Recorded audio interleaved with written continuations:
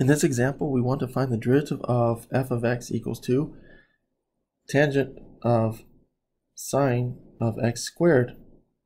Okay, and all that's going to be raised to the uh, third power. Okay.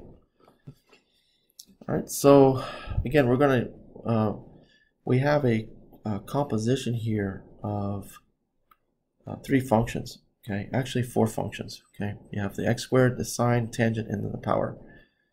So we're going to have to apply the general power rule uh, multiple times here. Okay.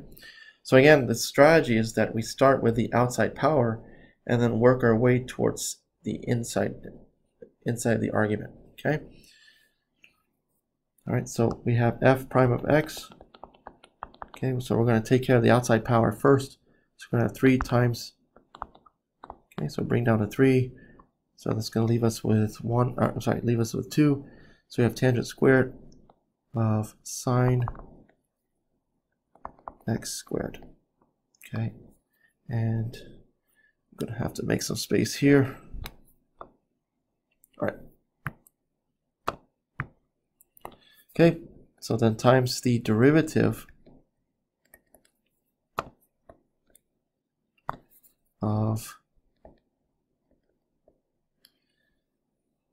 tangent, okay, tangent of sine of x squared. Okay, so we took care of the power first, and then now we're going to take the derivative of the remaining part. Okay, so then uh, we're going to get 3 times tangent squared sine x squared times the derivative of this. So the derivative of tangent is going to be secant squared. Okay, so we're going to have secant squared of sine x squared. Okay, and then we're going to multiply that by the derivative of sine x squared. Okay, all right, so we took care of the power. And the second step, uh, we took care of the tangent part. Okay. And then now we have to take the, now we, we continue this, okay, and we have to take the derivative of sine x squared. Okay, so we have 3 times tangent squared of sine x squared times secant squared of sine x squared. And then take care of the, take, take the derivative of that.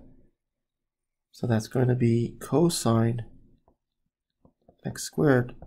And then we take the derivative of x squared. So that will be the last part. Okay, so we have 3 tangent squared times 3 tangent squared of sine x squared, okay, times secant squared of sine x squared times cosine x squared. take the derivative of this. That's going to give us 2x. Okay. So we have to apply the uh, general power rule, right? Uh, three times here, okay? Because we had three different, uh, we have uh, four functions. So general rule is that if you have four functions, then you have to do n minus one uh, power rules, okay? All right, so now uh, we can go ahead and simplify from here.